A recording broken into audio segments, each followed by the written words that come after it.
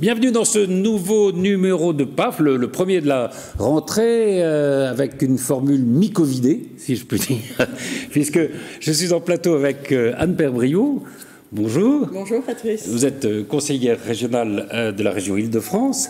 vous êtes proche de, Valérie Pécresse.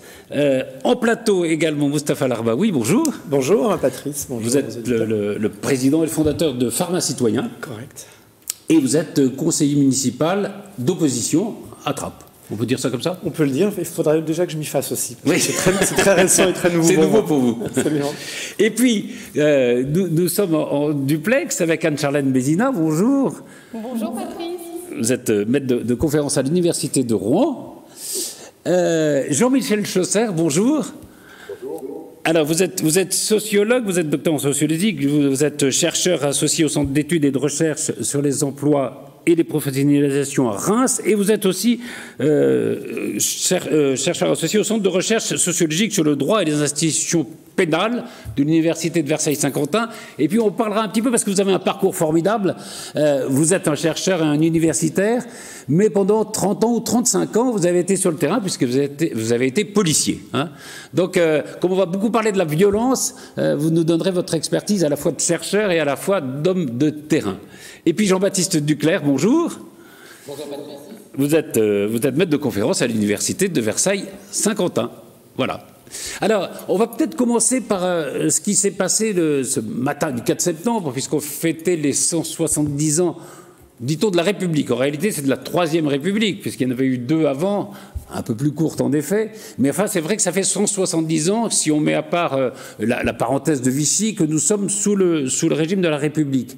On, a on pourrait avoir l'impression comme ça que, au fond, c'est un régime qui va perdurer, qui va, qui va continuer d'exister, qui n'aura pas de fin, et on a l'impression justement au contraire aujourd'hui que c'est un régime qui est en difficulté et qui est peut-être menacé.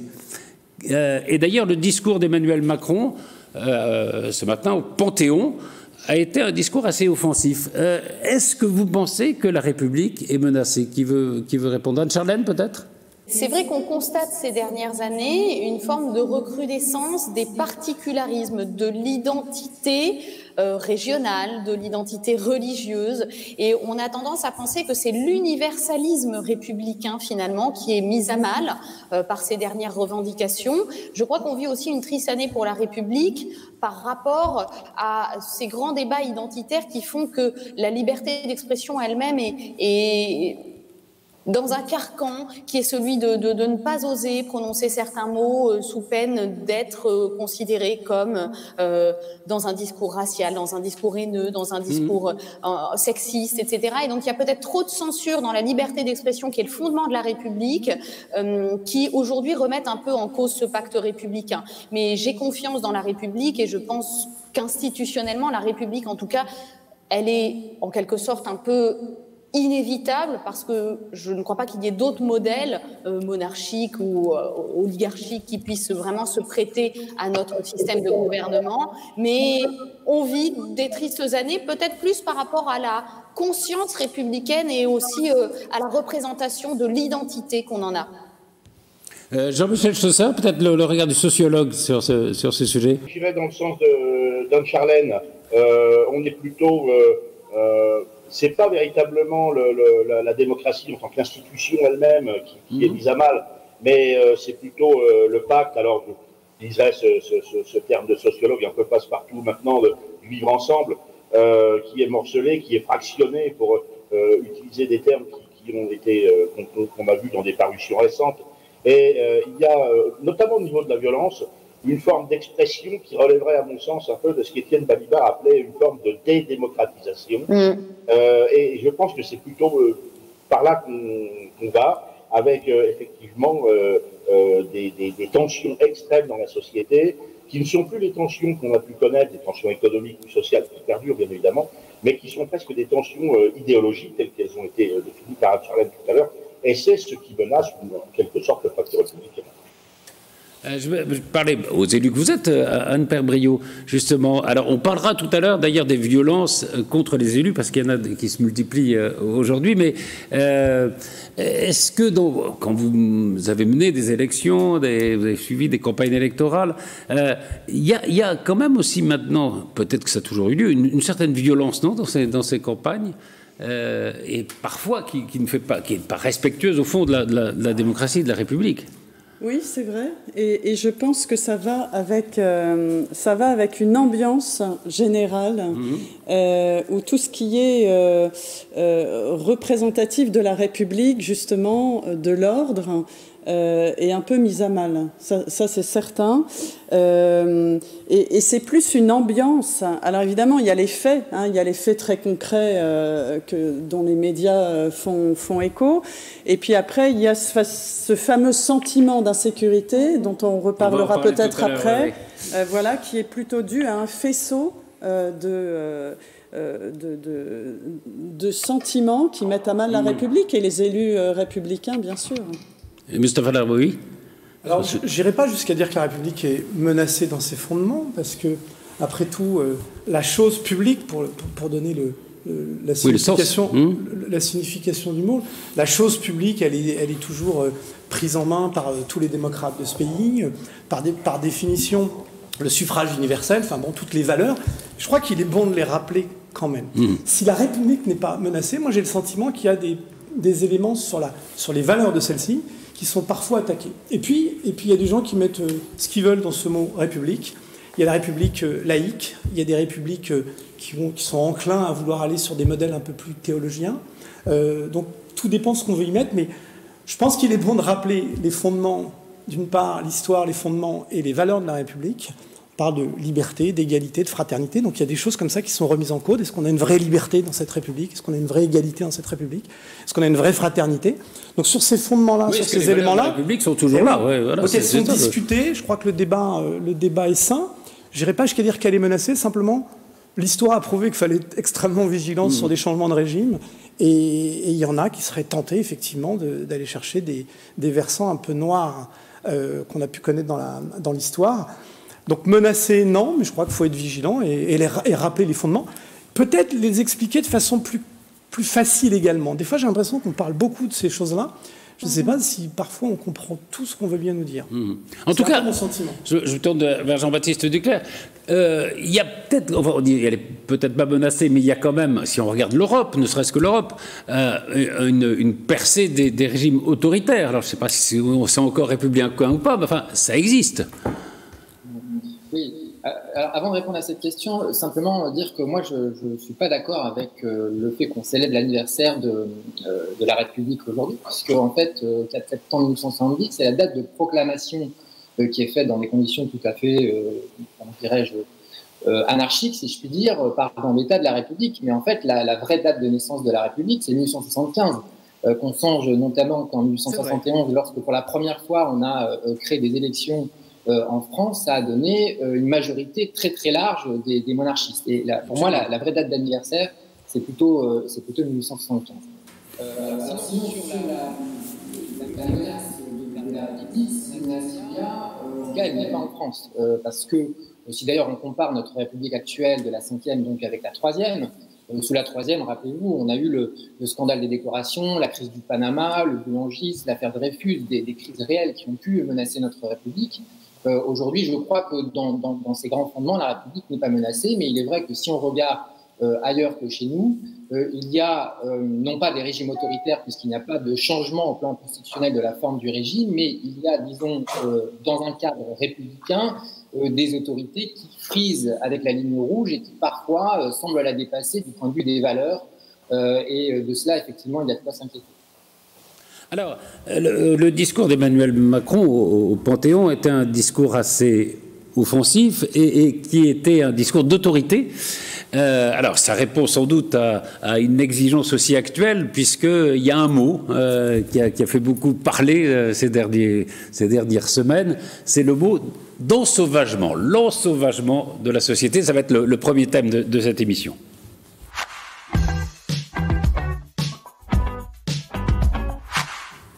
Oui, les violences. Alors, euh, l'ensauvagement, c'est un, mot qui a été utilisé par le ministre de l'Intérieur, Gérald Darmanin, qui est contesté d'ailleurs par le ministre de la Justice, qui dit, mais donner ce mot, euh, c'est exciter le, sentiment d'insécurité. Euh, mais c'est vrai qu'il y a eu un certain nombre de faits divers, un, chauffeur de bus euh, qui est, mort parce qu'il avait demandé à des passagers de mettre un masque, une infirmière, etc. Enfin, on va pas faire la liste des faits divers qui se sont succédés au mois de juillet, au mois d'août, mais c'est vrai que euh, il y, a eu ce sentiment peut-être que bah, l'autorité de l'État et l'autorité d'une façon générale étaient en crise et que l'insécurité augmentait. Je vais me tourner vers vous, euh, Jean-Michel Schlosser. Est-ce que, parce que dans tout ça, évidemment, on pourrait dire il y a des chiffres qui montrent que ça monte, que ça monte pas, mais les chiffres sont assez incertains. Est-ce qu'on connaît vraiment des chiffres sur la montée ou pas la montée de la délinquance? Ah, On les connaît, mais je dirais que la police a les siens, euh, l'Observatoire national de, euh, la délinquance euh, a les siens, l'INSEE a les siens, donc il y a des chiffres, mais qui sont, qui sont parfois pas tout à fait au même niveau, et sur certaines tranches de, types de délits ou de crimes sont même quelquefois contradictoires. Je crois que il, y a, il y a, en règle générale, malgré tout, une petite hausse. Alors, elle n'est pas, euh, pas exponentielle, mais on a, il, y a, une tendance haussière, comme on pourrait citer mmh. euh, en économie. Après, euh, les chiffres varient, divergent selon, et c'est dommage qu'on ne s'y intéresse pas assez, certaines formes de ponctualité. Il y a des moments dans l'année, notamment les vacances sont une occasion, il y a des moments dans l'année où un peu plus de, de délinquance, évidemment l'aspect géographique, il est évident que si on recueille les chiffres de la Seine-Saint-Denis, euh, ce pas les mêmes que ceux qu'on aura sur la, Drôme ou, Gers, et je n'ai rien contre la Gers. Euh, et il y a des modes opératoires également qui peuvent, peuvent être différents avec des formes de, de délits qui ont tendance à apparaître et d'autres qui ont tendance à apparaître et pas seulement dans la délinquance violente. Donc c'est vrai qu'avoir un panorama euh, général assez précis, c'est aujourd'hui assez difficile. Mais je pense que le plus important, au-delà même des chiffres, c'est de s'intéresser au pourquoi euh, ce sentiment d'insécurité, sentiment d'insécurité qui a été développé. Euh, Sébastien Rocher, le bon sociologue, on a déjà parlé, a fait des livres dessus il y a très très longtemps. Euh, mais pourquoi aujourd'hui il semble que le sentiment, le sentiment d'insécurité prenne le pas sur la sécurité? Là, bien évidemment, il y a des sentiments, notamment réseaux sociaux, portables, etc. et une pièce de résonance terrible que sont les médias en ce moment, qui fait que l'appréhension, si vous voulez, du, et plus euh, à, voir ça comme, comme, une autre. Cela dit, et je terminerai actuellement là-dessus, pour avoir eu des, anciens collègues qui sont encore en service actuellement, euh, il y a en matière de délinquance violente dite gratuite, on appelle des agressions, pour des raisons futiles, un regard dans la rue, une cigarette refusée, etc. Là, il y a une hausse, et cette hausse se caractérise aussi euh, par la présence de plus en plus de, de filles, de jeunes filles, et par une désinhibition de la violence. C'est-à-dire que si la violence, en termes euh, quantitatifs purs, n'est pas plus énorme, elle l'est en revanche au niveau, je m'excuse, le terme n'est pas approprié, mais au niveau qualitatif. C'est-à-dire que la violence d'aujourd'hui est plus violente dans sa violence que la violence d'il y a 10 ou 20 ans. Pour certains types d'agressions, c'est évident, notamment celle que vous avez rappelée pour le, les bus. Là, vous avez tout, enfin, c'est ce qu'on constate. évidemment, quand on regarde, vous avez raison, c'est des, violences gratuites qui se terminent parfois par des morts, enfin par des, choses absolument affreuses pour pour des des, broutilles, quoi, enfin pour des, choses qui ne devraient pas aller évidemment jusque là. Et, c'est vrai que peut-être, vous le soulignez aussi, euh, l'information qui se focalise sur euh, tel et tel événement euh, peut aussi renforcer ce, sentiment d'insécurité. Mais au fond, si on regarde l'histoire, moi j'avais fait des études là-dessus dans les années 70 et je me souviens qu'il y avait, il y a eu la loi sécurité-liberté d'Alain Perfit en 75 par là, parce que qui répondait déjà à un sentiment d'insécurité. Ce sentiment d'insécurité, ça a toujours existé. il y a toujours eu ce débat chez les criminologues notamment. Est-ce que c'est de la vraie insécurité? Est-ce que c'est le sentiment? C'est d'ailleurs, euh, c'est d'ailleurs ce que dit euh, le, ministre de la Justice. Il dit c'est pas de la sécurité, on fait pas rien, mais c'est le sentiment. C'est aussi votre, analyse, hein, Père Brio Alors je trouve que sentiment d'insécurité, il naît forcément de fait. Hein, il, part euh, de fait. et, et, quand on voit effectivement que le président de la République parle d'incivilité lorsqu'il y a ce chauffeur de bus qui a été frappé à mort, lorsque euh, les forces de l'ordre n'ont pas forcément été soutenues dans des moments où on avait envie de les sentir soutenues, lorsque euh, des policiers nationaux euh, ou municipaux font un flag et sont heureux et fiers d'avoir fait un flag et qu'ils apprennent qu'en fait le soir les gars sont ressortis, que la prison est plus peut-être l'école euh, du crime que de l'insertion, etc. Quand on met tous ces phénomènes les uns après les autres, effectivement, euh, il y, a un fort sentiment d'insécurité. Et c'est pour ça, d'ailleurs, euh, Valérie Pécresse disait l'autre jour à sa rentrée politique, je pense qu'il faut un électrochoc d'autorité, c'est-à-dire que l'opinion ressente euh, que ce ne soit pas systématiquement euh, un, espèce de sentiment de laisser aller, etc. Et elle citait d'ailleurs l'exemple d'un pompier euh, d'Étampes, le 14 juillet, qui éteignait un feu de voiture, qui s'est pris une balle dans la jambe et qui disait alors, on est caillassé, on est insulté personne ne réagit. Donc après, il y a les tirs de mortier, et puis après, il y a les tirs euh, avec euh, armes à feu. Donc tout ça concourt au sentiment d'insécurité. Il y a le sentiment de solitude, oui, chez, ceux qui sont euh, chargés du, maintien de l'ordre. Mustafa Larbaoui, là-dessus, sur, ce sentiment, vous-même, vous êtes élu au, fond d'une ville où il y a parfois, on a parfois vu des, des, des, des faits divers importants. Alors, d'abord sur le mot ensauvagement, parce qu'il est prononcé ah, maintenant. Peut-être qu'on va en parler après. Ah d'accord, je pensais que c'était le, lancement sur ce Est-ce que, que on, est dans la sécurité ou est-ce que c'est plus le sentiment euh alors, moi, je considère que si euh, déjà les gens ont, ce sentiment, c'est qu'après tout, déjà, il faut respecter ce sentiment. Ils l'ont. Euh, alors, avant, on avait un peu de chiffres. Il se trouve que maintenant, on a aussi des images. C'est compliqué mmh, de commenter les chiffres déjà parce qu'on y met un peu tout. Euh, probablement tout et, n'importe quoi. Donc c'est compliqué de, de trouver la justesse du propos par rapport à des chiffres. Mais il se trouve qu'aujourd'hui, on a des images. Qui peut nier que les images ne sont pas violentes? Qui peut nier que ce que l'on voit, par définition, c'est juste insupportable, c'est intolérable? Donc euh, oui, par rapport à ce qu'on voit, par rapport à tous ces faits divers qui sont maintenant filmés, ouais, on peut être qu'indigné. Mmh. Simplement, moi, je ne suis pas, je suis pas dans, dans, l'exercice, entre guillemets, de, ni de la sociologie, ni de, ni de la statistique, mais j'ai un vécu. Vous êtes sur le terrain. J'ai un vécu, et, mon vécu, il est celui actuel, vous avez parlé de trappe, effectivement, j'y suis depuis 16 ans. Moi, je n'ai pas le sentiment d'insécurité, j'ai pas le sentiment mmh. d'être euh, euh, dans, un, dans, un, endroit violent. Par contre, c'est très paroxystique. C'est vrai qu'il y a des explosions de violence dans cette ville, probablement dans d'autres que je ne connais moins, mais moi j'y vis, euh, j'y vis, j'ai envie de dire, très, très paisiblement, mais je vois bien les comportements. Moi, ce que je vois changer au-delà des... On parle d'incivilité. Alors, quand on voit les images de violence, c'est plus des incivilités, là, c'est du, c'est du, c'est hyper violent. C'est, c'est, de l'ensauvagement. C'est dégueulasse. C'est dégueulasse. Pour prendre un mot plus simple, c'est sacrément dégueulasse et c'est forcément condamnable. Et, l'ensauvagement me pose. Sur le, sur le l'ensauvagement, par définition, me pose un problème parce que. On peut parler de ces sujets. Moi, ce qui m'intéresse, c'est de trouver des solutions. Et un homme de terrain, par définition, c'est de chercher des, solutions. Ce mot, à mon avis, n'arrange rien. D'abord, il faudrait poser la question à ceux qui le prononcent, ce mot. Moi, je ne sais pas ce qu'ils mettent derrière. Bah, est-ce que ça veut dire qu'on est à la limite de l'humanité ou de la bête? Euh, Qu'est-ce qu'ils veulent dire? Les gens, sont, des les gens sont bestiaux, les gens sont plus humains. Est-ce qu'on veut y mettre derrière euh, peut-être euh, quand même des relents d'immigration? Ils viennent d'ailleurs, ils sont pas humains. Je ne sais pas ce qu'ils veulent dire. Il faudra leur poser la question. Moi, ça me gêne. Le mot ensauvagement me gêne. Par contre, l'intolérance est grimpante on, ne se supporte plus. Mm. On parle de violence gratuite. Il n'y a jamais rien de gratuit. Pour une clope, on va te défoncer la gueule. Mais le mec, il a pris une clope. C'est pas gratuit. Il a gagné une clope.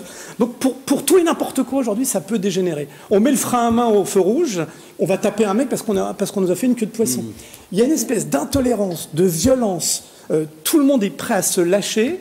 Voilà ce que je constate aussi. Mais pour revenir à ce que je disais tout au début, j'ai 50 ans dans les quartiers, j'ai 50 ans dans les banlieues, j'ai 50 ans pour avoir travaillé un peu dans des territoires où on peut considérer que c'est, à, tort, plus violent qu'ailleurs, en tous les cas pour ceux qui y vivent. Euh, franchement, ça n'a pas changé. Si je vous racontais tout ce que j'ai vécu dans ces quartiers, probablement à la périphérie de ces quartiers, mais, moi je me souviens de Poniatowski qui faisait des, opérations coup de poing dans les années 76, les opérations coup de poing, et on ramassait tout ça en vrac et on disait qu'il y avait, avec un coup de menton, on, allait dire qu'on avait restauré l'autorité, mais la violence n'était pas filmée, la violence n'était pas décrite comme aujourd'hui, la violence n'était pas exacerbée. Il n'y avait pas les réseaux sociaux, il n'y a pas les télés qui en font une loupe. Franchement, moi j'ai toujours vécu dans un monde très violent.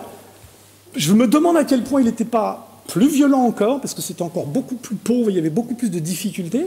Et aujourd'hui, par contre, ce qui est sûr, c'est qu'on peut avoir le sentiment, et ça je le comprends, bah oui, parce qu'avec tous ces chiffres, avec toutes ces images, et avec tout ce qu'on dit et qu'on répète en permanence sur les, sur, les, sur les télés, sur les plateaux, dans les médias, ouais, on peut avoir que ce sentiment d'insécurité. Mais moi, pour avoir grandi, encore une fois, euh, en 50 ans, j'ai vu ces violences de bandes rivales, j'ai vu ces violences euh, qu'on appelle gratuites entre euh, les mômes des quartiers et les centres-villes. J'ai vu dans les fêtes foraines des trucs absolument terrifiants, si elles avaient été filmées à l'époque. Aujourd'hui, ce serait presque du petit, du hmm. petit jeu. Sauf que ça s'est déplacé. C'est-à-dire que maintenant, on va même sur les élus. On va même sur les, on va parler, on va parler gens de la République. Dans un instant. Et c'est là que je me dis que ça va de plus en plus loin. Mais vous avez les barrières sautent, les vous barrières avez raison. tombent. Vous parliez de Poniatowski, puis il y avait toujours des faits divers. L'affaire Patrick Henry, par exemple, tout le monde réclamait la, la mort de, la, la mort de quelqu'un. C'était en 73 au 19 avenue de Paris à, Versailles. Il y a eu des rafales de, sur, des gens, on appelait ça la première bavure. J'ai vu de la violence dans les années 70 dans les quartiers. C'était impressionnant. C'était pas filmé, il n'y avait pas de chiffres, c'était pas filmé, on n'en parlait pas. Alors aujourd'hui, oui, c'est la météo. Bon, on a une météo, quel temps il fait aujourd'hui? Aujourd'hui. On demandera peut-être à, Jean-Michel Schlesser justement sur, le, sur un temps long si on a des, si on a des statistiques. Il n'empêche qu'il faut le traiter. Et avant, on mettait un peu d'argent sur l'éducatif. Maintenant, on veut mettre tout, cet argent sur le répressif. Moi, je pense qu'il faut savoir équilibrer les choses parce qu'il y a des choses à faire. Dans l'éducation, mais c'est un temps long. Et dans le répressif, c'est un temps court. Euh, Anne-Charlène et, Jean-Baptiste, je vais peut-être vous intéresser sur les conséquences politiques, parce qu'il y a eu, euh, une déclaration d'Emmanuel Macron qui, parlant de l'insécurité, a dit Nous connaissons le débat, nous l'avons eu au début des années 2000, et il a eu un impact non négligeable sur euh, la, vie politique. Et c'est vrai que, si on se rappelle la campagne présidentielle de, 2002, euh, elle s'est jouée sur la question de la sécurité et elle explique en partie, parce qu'il n'a été assez peu capable de répondre à cette question, le fait que Lionel Jospin n'ait pas été qualifié au, deuxième tour des, présidentielles. Euh, c'est la, preuve de, ce que disait un peu Moustapha, c'est-à-dire que c'est un débat, c'est un serpent de mer, quoi, qui ressurgit très souvent. Moi, j'ai le sentiment qu'il y a deux choses dans, ce qu'on évoque. L'ensauvagement, euh, d'abord en tant que terme. Euh, je crois qu'il faut éviter les amalgames et quand on, stigmatise ce terme d'ensauvagement, on y voit le terme de sauvage, on retrouve un discours racialiste où euh, on a le sentiment qu'on parle de, de, de d'une forme de, rupture dans le vivre ensemble et, je ne crois pas que ce soit finalement euh, ce que le terme recouvre complètement, même si ce terme finalement est complètement polysémique et il est utilisé essentiellement pour des fins de communication, donc il n'a même pas de, véritable nature, à part euh, que c'est une francisation un peu imparfaite d'un vocable anglais. Mais L'ensauvagement, pendant longtemps, il a été réservé à l'extrême droite. Donc aujourd'hui, quand on a un ministre qui nous parle d'ensauvagement, on a le sentiment qu'on renoue avec les vieux discours du père euh, de Marine Le Pen et qu'on est donc en train de fracturer complètement euh, notre sentiment, on parlait de la République tout à l'heure, notre sentiment euh, républicain, notre unité. Pourtant, moi, je crois que on, on, touche là aussi à la, à la, à la au point de crête de, de l'action publique. Et, je rejoins ce que disait Mustapha, c'est-à-dire que on a beaucoup de mots. Si on dit incivilité, on a le sentiment que ça n'est pas suffisant. Mmh. Si on dit en sauvagement, on a le sentiment que c'est excessif. Mais finalement, ce qui nous manque, ce sont des actions. Et ça, depuis les années 70, comme vous le dites, le, le, terme de, de sécurité, la balance entre la sécurité et la liberté, c'est finalement le, la problématique même de la démocratie et on en parle régulièrement, mais plutôt pour l'instrumentaliser. Et au finish, il n'y a jamais de, réponse politique à cette question de la sécurité. On a essayé d'ailleurs de poser ce débat même pendant le confinement sur la question de la sécurité sanitaire et à chaque fois, il y a des, de véritables replis sur cette question. Donc moi, je crois que ce qui nous manque, c'est un véritable débat sur ce qu'est la sécurité, quelles sont aussi les politiques qui doivent être menées sur cette question. Est-ce qu'il s'agit plutôt de politique locale? Est-ce qu'il s'agit plutôt de politique nationale? Est-ce que c'est une sécurité face à quelle menace finalement? Une sécurité sanitaire, une sécurité lors des regroupements? Et on retrouve là aussi cette idée de la violence, c'est-à-dire que il n'y a tellement pas de réponses politiques qui y sont apportées que on laisse libre cours à des discours extrémistes, extrémistes sécuritaires, mais extrémistes aussi euh, euh, de la division de cette République, dans, dans, dans ce, ce, fait de raviver des groupuscules identitaires. Et donc, moi, je crois que ce qui nous manque, c'est une vraie politique publique de la sécurité qui soit pensée autrement qu'avec des indicateurs financiers chaque année et un courage politique derrière, finalement. Jean-Michel Chausser, vous vouliez intervenir? Ah non, je complètement dans, ce qui vient d'être dit. J'ajouterais simplement que euh, toute la, difficulté, justement, de, réfléchir et de construire quelque chose de pérenne et d'efficace sur la, sécurité, c'est que beaucoup de gens demandent de la sécurité, la sécurité première des libertés, mais en même temps, le terme de sécurité, rien que le terme de sécurité, euh, passe un petit peu pour un épouvantail. Mm. Dès qu'on on va euh, quelque part pour aller vers la sécurité, tout de suite vient le mot, le mot répression. Euh, regardez les, débats qu'il y a encore, moins c'est vrai, mais qu'il y a encore sur euh, les caméras. Hein. Euh, la sécurité, c'est quelque chose que tout le monde demande, mais c'est également vécu comme quelque chose d'extrêmement intrusif. C'est très difficile d'arriver à faire la part des choses dans la réalité, mais c'est vrai qu'il faudrait réellement euh, pour un Grenelle de la sécurité, je ne sais pas si on peut l'appeler comme ça, mais qui remette à plat certaines idées euh, et qui, bon, ma foi, euh, soin des mots, mais, mais, mais des actes, il y, a, aussi, euh, je vais redonner la parole à Moustapha, peut-être Jean-Baptiste, il y a aussi euh, euh, Anne-Charlène le disait, il y a aussi un, arrière, une arrière-pensée politique. Quand on emploie des mots comme sauvagement, qui sont en effet des mots qui viennent de l'extrême droite, c'est pour dire, regardez, nous aussi on se préoccupe de la sécurité, puisque c'est un des points qui sera probablement un, des points sensibles des prochaines campagnes électorales. derrière tout ça, c'est vrai qu'il y, a toujours eu un, discours politique. On entend d'ailleurs Xavier Bertrand se, scandalisait, mais enfin, il a été au gouvernement, il y a eu des faits divers. Xavier Dupont, Dupont a eu le, réseau de rappeler que quand il était au gouvernement, il y avait aussi des faits divers qui avaient choqué euh, l'opinion. Donc on est vraiment aussi dans une question de posture, non? Oui, tout à fait. Effectivement, il y a un jeu médiatique qui se fait aujourd'hui.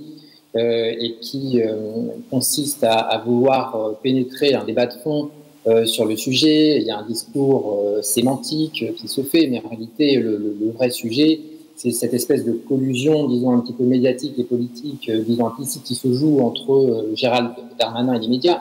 Gérald Darmanin, qui a tout intérêt à vouloir occuper le devant de la scène médiatique et pour être écouté, c'est là que les choses sont tristes, il faut être excessif, il faut employer des termes qui sont polémiques, qui font le buzz.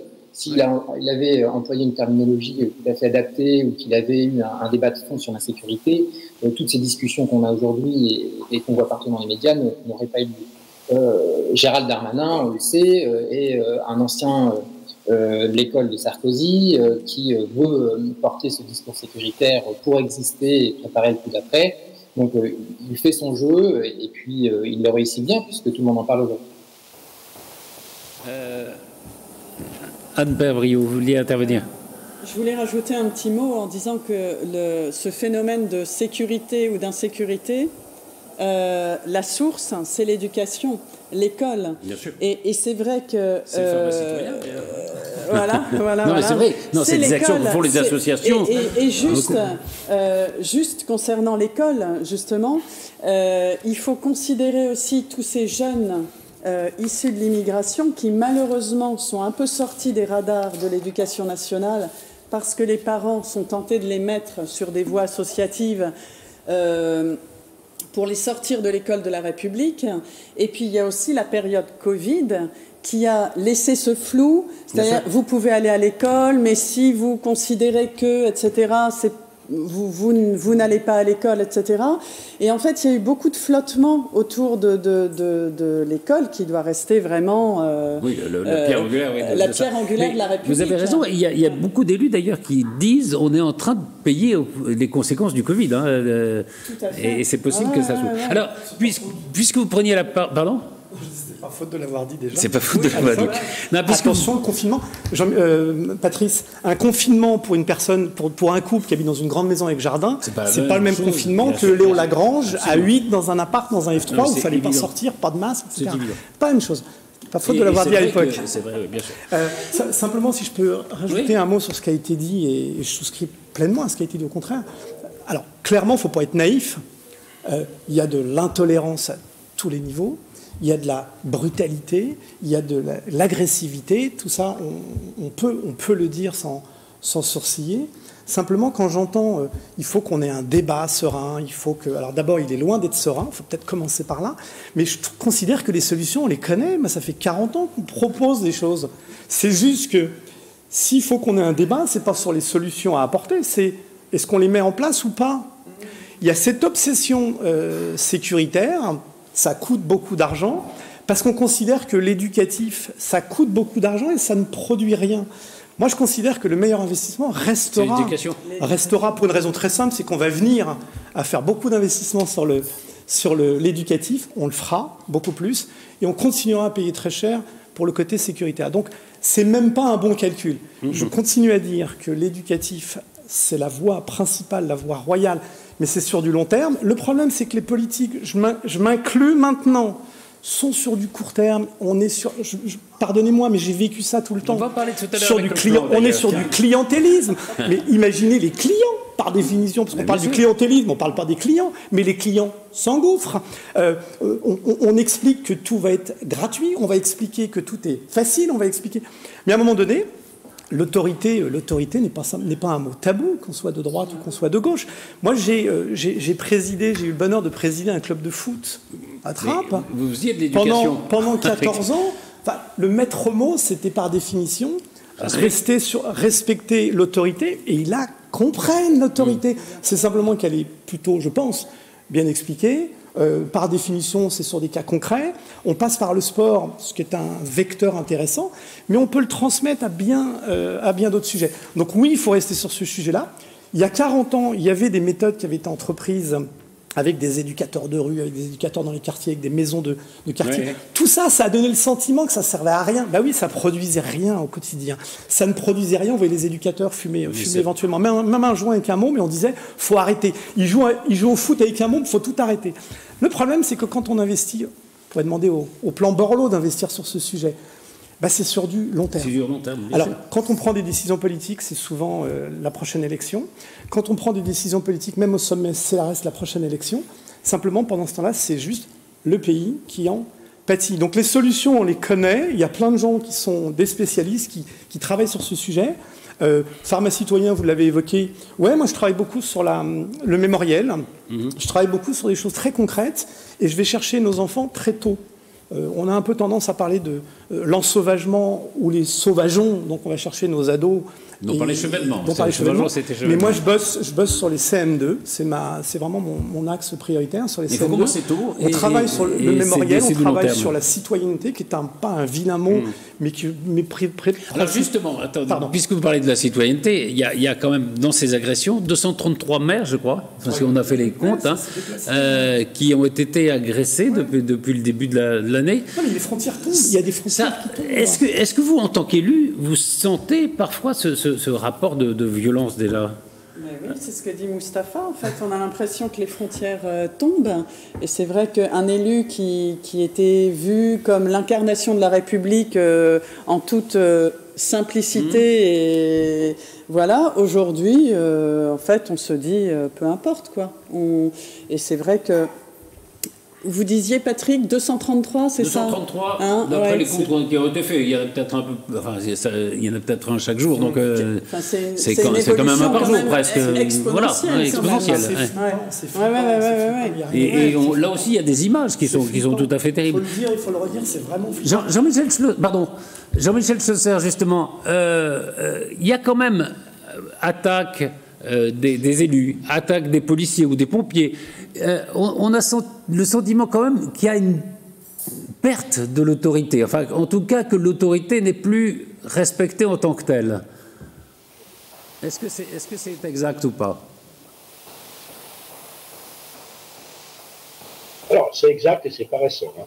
Euh, ça fait maintenant euh, plusieurs années que les policiers, mais pas seulement les policiers, les pompiers, vous les avez cités, on pourrait rajouter euh, tous les intervenants sociaux, médicaux paramédicaux euh, qui interviennent dans certains endroits, euh, les plombiers, les postiers, EDF, enfin on peut en rajouter.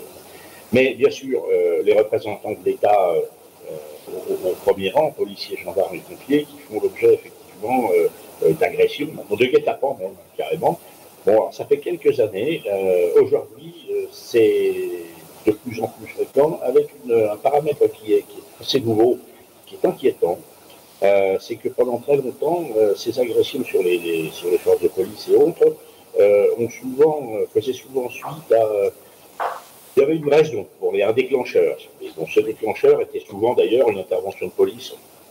Aujourd'hui, on se rend compte de plus en plus qu'il n'y a plus besoin d'éléments déclencheurs et que euh, le guet-apens, bon, c'est devenu, euh, pardonnez l'expression, mais un peu le, dernier jeu à la mode dans les banlieues et que euh, attirer les pompiers, attirer les policiers, jusqu'à leur tirer dessus d'ailleurs, je pense à, un pompiers, hein, euh, à balles réelles, vous imaginez à quel degré on, en arrive. Souvenons-nous, petite parenthèse, petite digression universitaire. Euh, Souvenons-nous, il y a quelques années, de l'échelle de Buitrong. Euh, cette commissaire divisionnaire qui était à la direction centrale des renseignements généraux et qui avait établi une échelle de gravité allant de 1 à 10, euh, dans lequel euh, les, les, spécialistes des violences urbaines des renseignements généraux estimaient euh, qu'il y avait lieu, à partir du moment du franchissement de telle étape, qu'on en arrivait à un point de, de non-retour, un point ultime extrêmement grave. Pourquoi je cite cette, euh, cette échelle de Puy-Kong C'est que précisément le tir à balles réelles sur des représentants de, l'État euh, constituait pratiquement la neuvième marche, enfin constituait la neuvième marche, et la neuvième marche c'est celle qui précède bien sûr la dixième, qui est tout simplement euh, l'insoumission, euh, la rébellion à force armée.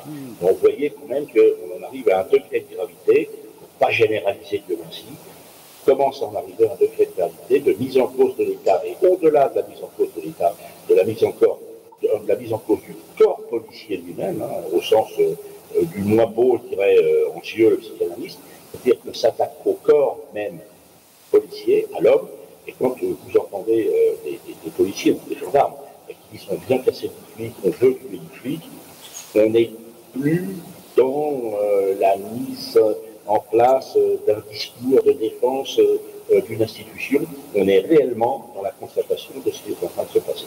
Ça, c'est extrêmement grave.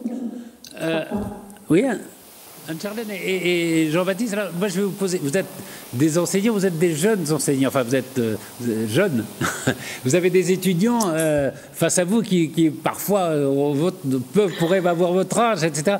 Est-ce que là aussi vous, constatez par rapport au moment où vous avez fait vos études peut-être une, une sorte de crise de l'autorité ou, ou est-ce que ça ne gagne pas encore l'université?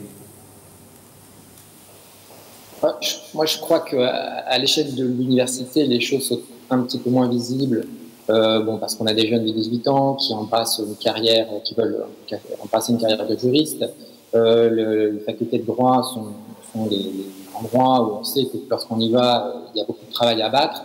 Donc, on a, disons que grosso modo, les choses se passent plutôt bien, on est assez satisfait, mais c'est vrai que si on observe, moi, ça fait à peu près 10 ans que j'enseigne, euh, c'est vrai que j'ai le sentiment que malgré tout, euh, il est plus difficile d'avoir de l'autorité aujourd'hui, mais je crois que là, vous me posez la question en tant qu'enseignant, vous avez interrogé avant moi un policier, vous pourriez euh, interroger l'élu aussi, dit la même chose. En fait, c'est un phénomène qui est général. Euh, il y a de l'autorité quand il y a des valeurs.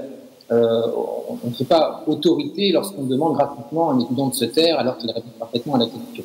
On fait autorité parce que euh, la décision, euh, l'ordre, le devoir qu'on impose est pris sur quelque chose de juste. Et je crois que cette baisse d'autorité fait écho à une crise des valeurs qui, euh, en fait, embrasse toute notre société, puisque la liberté a été poussée à un paroxysme tel que euh, chacun a le sentiment que ce qui est juste, ce dont il a le droit, c'est ce qu'il veut. C'est sa passion du moment, c'est ses caprices. et comme il y a donc finalement cette espèce d'ultra-légitimation de la liberté, euh, chacun croit qu'il n'a plus à s'obliger, que euh, obéir euh, finalement c'est renoncer à la, à, la, liberté et donc croit-il à la République. Et le problème il est là. Le problème il est là. Et donc on a, si vous voulez, des autorités qui sont toujours instituées, qui font leur travail et qui ont l'impression que finalement c'est plus dur aujourd'hui qu'avant. Mais le problème, et moi j'ai toutes les raisons d'être pessimiste, tient au fait qu'il n'y a plus de valeur et je ne crois pas que nous allons vers un monde où les valeurs vont en se renforcer. Je souscris totalement à, ce qui a été dit euh, jusqu'à présent. Je me demande jusqu'à quel point il n'y a pas une forme de mouvement historique euh, de l'autorité, c'est-à-dire qu'on a connu un autoritarisme très grand, euh, nous et, beaucoup de, jeunes démocraties de l'Europe dans, la fin du 19e, et on, s'est révolté contre l'autorité parce qu'elle apparaissait inique et illégitime. Donc je dirais qu'on a, on a vécu un 20e siècle de la légitimité qui est paroxystique avec l'affaire Fillon, où finalement on commence avec le, triptyque des lois de moralité, de moralisation, de transparence, de valeur absolue, de la euh, de la probité qui est érigée en, en, en, en, valeur clé de la gouvernance. C'est-à-dire qu'aujourd'hui, on attend du gouvernant qu'il soit propre, qu'il soit transparent et qu'il soit moral. Donc, on, on est revenu un peu à l'ère première des princes de Machiavel avec cette idée qu'on ne peut faire euh, d'un gouvernant euh, un homme euh, qu'à partir du moment où il est un homme bien lui-même. Donc, on, on revient à cette valeur de la moralité.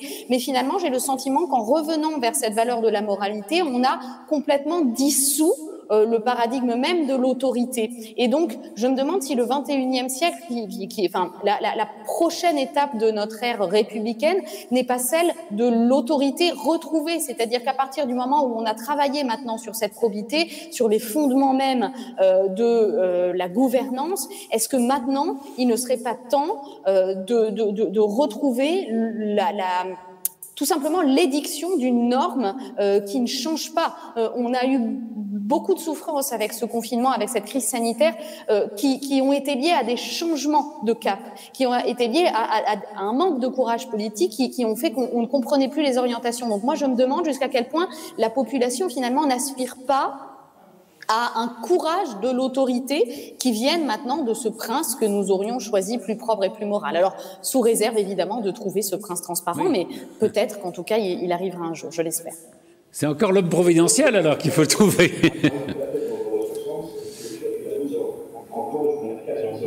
de la légitimité de, nos gouvernants et de notre système de gouvernance, euh, associé à, euh, on l'a suffisamment dit, à une forme euh, très sévère d'être de, de, euh, seul, hein, de, vouloir se sentir absolument seul dans sa liberté, c'est quelque chose qui a joué pour euh, s'appeler les fondements d'autorité. Je rajouterais, parce qu'on a évoqué tout à l'heure l'éducation, une chose qui me semble très importante, et justement le Covid l'a aussi fait remarquer, et qu'il faudrait rajouter à l'éducation traditionnelle, l'éducation nationale que nous connaissons, une éducation à la frustration. Il y a deux ou trois générations qui n'ont pas été habitués à la frustration. Je disais chez des collègues médias l'autre jour, euh, on nous a parlé de l'enfant roi. Euh, aujourd'hui, l'enfant n'est plus l'enfant, mais il est toujours le roi. Et euh, il n'a absolument pas été du tout habitué à la frustration. Et c'est la raison pour laquelle, eh bien, quand on refuse une cigarette et qu'on n'a pas le verbe pour le dialogue, on a la violence pour remplacer le dialogue, comme le dit linguiste les sociolinguistes Alain Bentolila, ce sont les points qui parlent, et comme je n'ai jamais été frustré, je veux ma cigarette, je suis prêt à tuer tout ça. C'est pour moi absolument euh, obligatoire, plus évidemment vais pas revenir sur le service militaire, je suis aujourd'hui un, vieux con, je l'ai connu, mais bon, il n'y avait pas que du mauvais là-dedans, même s'il y avait aussi quelques, quelques bêtises.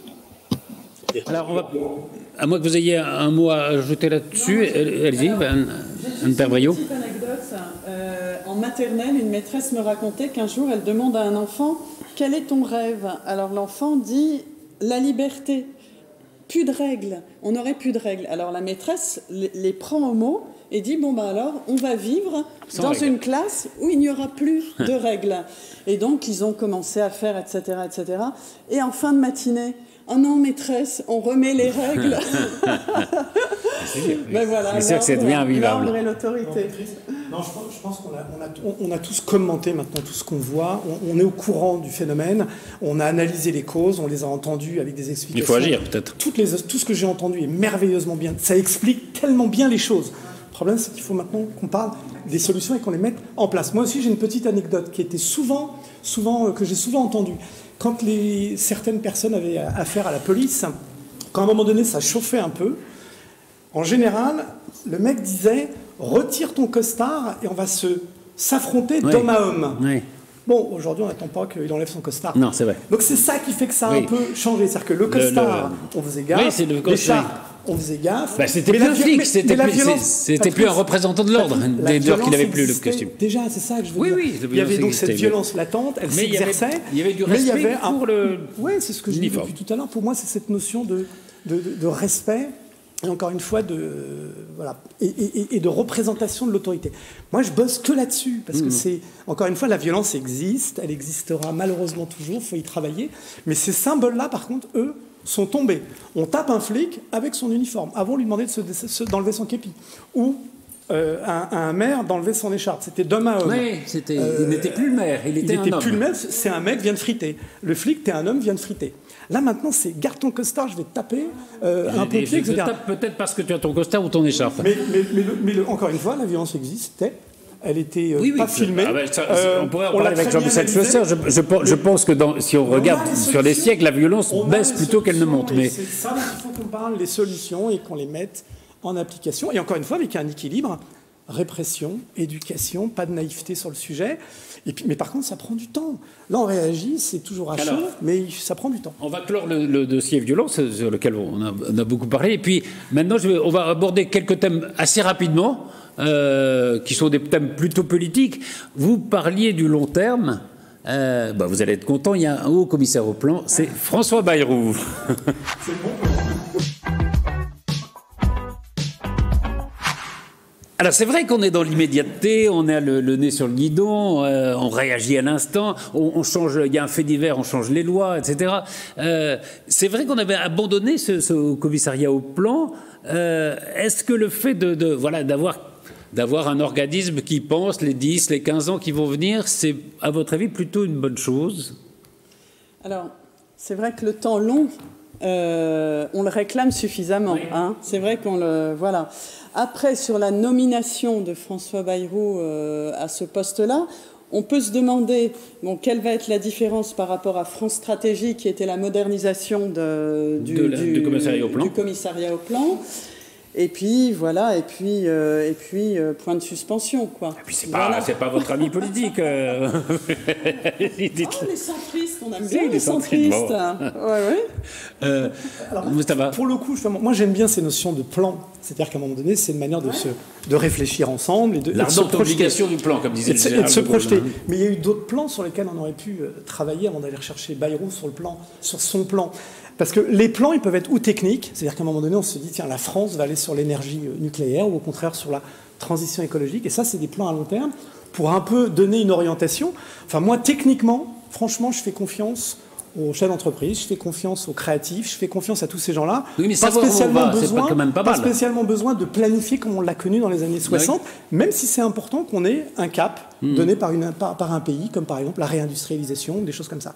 Moi, je préfère les plans euh, sur lequel on travaille sur l'humain, justement. Le plan, le plan euh, Borloo, par exemple, était un plan. Oui. On l'a abandonné. Et pourtant, les notions dont on parle aujourd'hui étaient dedans. Moi, j'ai participé à beaucoup de tables rondes sur le plan Borloo et avant le plan euh, euh, il y en a eu d'autres avant. Hein. Et je crois que tous ceux qui ont participé on regrette qu'il ait été abandonné. Personne s'est dit, euh, c'est un plan comme le plan nucléaire, où la France va être projetée dans 30 ans, où la violence sera bien évidemment euh, beaucoup moins qu'elle n'est, où on aura l'éducation de nos enfants mm. qui seront beaucoup plus, beaucoup plus encadrés, etc. Ça, c'est des plans qui m'intéressent. Celui-là, j'ai peur que ça soit un bon plan pour lui, pour Bayrou. J'ai peur que ça soit un bon plan, un bon plan, un bon plan, mais j'entends politiquement, hein, parce qu'il y va bénévolement et, et, je souscris au bénévolat, mais j'aime bien, moi, les plans qui emmènent la nation sur euh, des quasi-sujets philosophiques et, plus que techniques. Ah, mais c'est des sujets philosophiques. Qu'est-ce que, qu'est-ce que va être notre société C'est ça l'idée. C'est d'essayer de définir ce que va être la France, la société, l'Europe dans 15 ans. C'est quand même. C'est ça, tant mieux. Ça. C'est pour dire le plan. C'est ah, ça le plan. Euh, Anne-Charlène, on peut, on peut rappeler, hein, c'est De Gaulle en 46, le premier commissaire au plan, c'est Monet. Euh, D'ailleurs, très, très, très, euh, de manière très, très amusante, enfin, ou, euh, très significative, euh, la plupart des commissaires au plan étaient des très pro-européens. Il y a Monet, évidemment, mais il y, y, en a beaucoup d'autres qui étaient la plupart très pro-européens. Est-ce que alors il y, a quand même une question qui se pose, c'est-à-dire que en 46 l'État est très fort. Aujourd'hui, l'État n'a plus beaucoup de moyens. est-ce que c'est est-ce que c'est pas un cache-misère au fond? Ce commissariat au plan alors d'abord, il faut une première chose sur le plan. Vous, vous avez un peu retracé euh, l'historique. Euh, on, on, dit très souvent dans les médias ces derniers jours qu'on renoue avec le commissariat au plan et que c'était quelque chose que nous avions abandonné. C'est une erreur. Hein. Le, le, plan n'a jamais été abandonné euh, parce que tout simplement tout État démocratique qui se respecte depuis les années 50 dispose euh, auprès des ministères d'un organisme de conseil. Alors on a la, la, la, direction des affaires régionales auprès des collectivités territoriales. Euh, on a France Stratégie qui, est, qui, a changé de nom aussi tous les dix ans auprès de l'État, qui sont des organismes de prospective scientifique et cette prospective vient aider les ministères justement au niveau des chiffres. Mais le plan, euh, tel qu'on l'a conçu dans les années 50, était avant tout un plan économique et un plan de relance à la suite d'une guerre, justement. Donc moi, je trouve que le fait que nous renouions avec ce euh, champ lexical est pas inintéressant parce que Emmanuel Macron a joué beaucoup avec le, le, champ lexical de la guerre, avec la guerre contre le virus, etc. Nous savons que nous vivons une crise économique qui est sans précédent. Et donc, je pense que le plan arrive ici au bon moment, c'est-à-dire que c'est avant tout un plan économique, finalement, un plan de rétablissement de l'État. Et vous parliez de perte d'autorité de, l'État. Peut-être que justement ce plan, rétablir en tout cas le lustre d'un ministère, enfin un commissariat euh, qui soit complètement attitré au plan, de lui redonner un petit peu de l'ampleur politique, c'est le moment de, de, renouer avec justement le plan économique de relance et de reconstruction euh, qui est à l'origine même du plan. Ensuite, redire aussi un mot, c'est que dans les années 50, le plan a ensuite évolué vers un plan qu'on qualifiait de plan État-région, qui était le moment justement du dialogue local, euh, dans lequel les régions ont d'ailleurs connu les, leurs plus grandes années, parce que c'est là qu'elles ont euh, beaucoup impulsé les politiques publiques. Donc, à l'heure où la population réclame de plus en plus de pouvoir aux localités, peut-être que le plan va permettre aussi de redonner du pouvoir au territoire. Et donc, je crois que c'est le bon moment, euh, c'est une bonne réponse politique à, à plein d'égards pour relancer notre pays et peut-être pour le repenser au niveau de sa gouvernance territoriale. Très bien. Autre sujet, parce qu'il faut qu'on aille très vite, il nous reste à peine 4 minutes. Euh, il y a une partielle à, à, dans la 11e circonscription des, des Yvelines. Euh, je crois qu'il y a déjà 11 candidats. Euh, à la suite de la nomination de Nadia Haye comme ministre de la Ville, et qui n'avait pas de suppléant ou qui avait un suppléant qui était poursuivi par la justice, en tout cas, euh, il y a un homme dont on aurait pu penser qu'il allait se présenter, qui a été député de cette circonscription, c'est Benoît Hamon. À votre avis, c'était une chance inouïe pour lui de revenir sur, le, devant de la scène politique, ou dans la scène politique en tout cas. Pourquoi il n'y va pas? Très vite. Très, très, très court. Vite. Moi, j'ai, moi, j'ai le sentiment comme ça, rapidement, euh, qu'il n'a pas envie de se planter encore une fois. Hein. Il s'est planté, il était député. Bah, il dit il que les sondages le donnaient euh, en tête ensuite, largement. Ensuite au régional, ensuite au présidentiel. Peut-être que le suffrage universel, euh, il n'est pas c'est fait pas pour lui. lui. Donc c'est peut-être ça, il a, il a, les jetons. Deuxièmement, il y a peut-être une autre, une autre idée, c'est qu'il a lancé un mouvement qui est quand même Génération S. Mmh. Il a ses lieutenants maintenant qui sont euh, Sotras, par exemple, euh, et probablement qu'il a plutôt envie de laisser voir comment ses, ses idées, son, son parti peut évoluer avec d'autres. Euh, moi, j'ai plus l'impression qu'il a un à la fois les jetons et en même temps, peut-être que ses idées peuvent être propagées par d'autres et il va suivre ça de loin. Je ne sais mmh. pas. Il n'avait pas intérêt à y aller, à votre avis? Mais il se prépare peut-être pour les présidentielles oh Oui, bon, enfin, d'accord, 6%, euh, il a été ridicule une fois, il ne va, va, pas l'être deux non, fois. Non, moi je suis assez d'accord. Euh... euh, autre, autre débat qui va vous faire plaisir, Estrosi, qui dit euh, bon, c'est pas la peine qu'on ait un candidat de droite, il y a, il y a Macron. Alors moi j'aime bien Christian Estrosi oui, et, et, voilà, un coup, je pense qu'à nouveau c'est un peu euh, un coup de com, mais je pense que c'est un peu tôt pour faire sa déclaration d'amour euh, à Macron. Mmh. Moi je pense qu'avant il y a 2020 euh, la crise, 2021 les scrutins euh, départementaux et régionaux. Et après, on pourra peut-être euh, commencer à parler euh, des sérieusement des présidentielles et des engagements ouais, des uns et des autres. Droite, euh, voilà, il y en aura, il y en aura, il y en aura. Il y en vous pensez que ça sera des partiels Qu'il y aurait des partiels Une partielle, enfin. Je pense qu'on pourrait euh, s'orienter euh, parce qu'il y a beaucoup des de primaires, pardon, je dis partielles. Des primaires. Des primaires. Ouais, ouais, je pense qu'on pourrait s'orienter vers, vers une primaire. Alors il y a beaucoup de gens Parce qui que ça disent. Ça vous a pas porté chance hein, la dernière fois. Oui, mais, mais non, mais c'est en fait les primaires ont été très bien menées. Oui. Et, et, je trouve que ça s'est très bien passé. C'est juste le problème du candidat et de ce qui s'est passé euh, après. Mais la, la ouais, primaire, c'est très bien primaire, il faut recoller les morceaux et, et on n'a oui, pas, pas cette culture-là. Je pense qu'il a simplement voulu le dire à sa façon. Euh, Macron n'est ni de gauche ni de gauche. Il l'a dit à sa façon. Il est temps de, de rejoindre, de rejoindre la droite. Ouais. En un mot, il y, a une, polémique avec un dessin qui est paru dans Valeurs Actuelles sur la députée Danielle Bono, qui a été représentée en esclave, et, à juste titre, ça a pu choquer, et, beaucoup, de, beaucoup de gens se sont, se sont prononcés contre cette caricature. Mais peut-être, Anne-Charlène, je vais vous interroger là-dessus. Euh, en même temps, on dit qu'il faut soutenir Charlie Hebdo qui fait des caricatures. Où est-ce qu'est est la limite? Qu'est-ce qui est caricaturable? Qu'est-ce qui ne l'est pas? Est-ce que c'est le droit qui doit dire ça? Et je vous demande de répondre rapidement, pardon. Alors le droit euh, dit, dit, peu de choses finalement. Euh, on a le droit européen des droits de l'homme qui nous dit que euh, tout dépend du discours. Quand on est dans un discours sarcastique, quand on est dans quelque chose d'humoristique qui vient volontairement provoquer ou choquer, la liberté d'expression ne connaît normalement pas de limite. Donc c'est-à-dire que vous pouvez tout à fait choquer, même religieusement, même politiquement, même au niveau d'un discours qui pourrait apparaître racial, si vous le faites sur le ton de l'humour. Alors tout dépend euh, justement de, ce qu'on peut considérer comme étant le ton de valeurs actuelles. Charlie Hebdo est connu pour son côté provoquant et pour euh, justement le, fait de rechercher un humour noir. Euh, valeurs actuelles s'illustre ici dans un discours qui est un peu nouveau par rapport à, ce qu'il porte et, et, le risque aussi c'est de politiser ce débat puisque justement Valeurs actuelles est plutôt connu pour des positions politiques. Donc le risque d'utiliser le ton Charlie quand on n'est pas Charlie, c'est d'être sanctionné par la loi puisque du coup cette limite de l'humour, elle risque d'être franchie. Merci beaucoup. Malheureusement, voilà, le, temps, ça passe vite. Hein Anne-Père Brio, merci infiniment. Mustapha Larbaoui, merci beaucoup. Jean-Michel Schlosser, merci beaucoup. Euh, euh, Jean-Baptiste Duclerc, merci. Anne-Charlène Bézina Duclerc, merci beaucoup. Et bah, à la semaine prochaine pour un nouveau numéro de PAF.